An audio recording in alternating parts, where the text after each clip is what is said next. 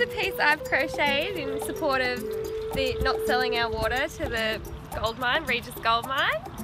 And yeah, it's saying how our water is much greater than the gold they want to mine.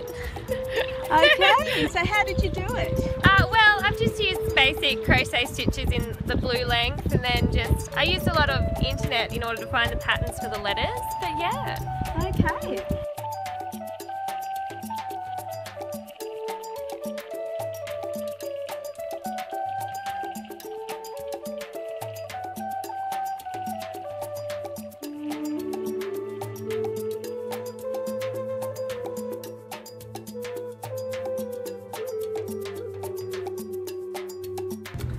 So I'm the manager of the Bathurst Whole Food Co-op. So a lot of our farmers, a lot of our growers bringing in produce each week do actually live on the riverbanks. So they, they need their water allocations.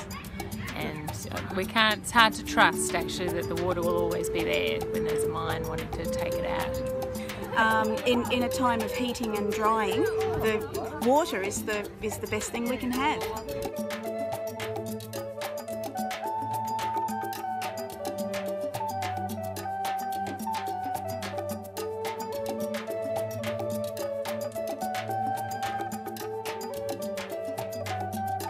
This is the site that Bathurst was founded at and um, along this river because water is vital for life and water is so much more precious than gold.